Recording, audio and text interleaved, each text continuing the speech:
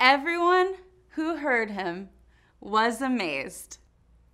Luke 2:47. Everyone who heard him was amazed. Luke 2:47.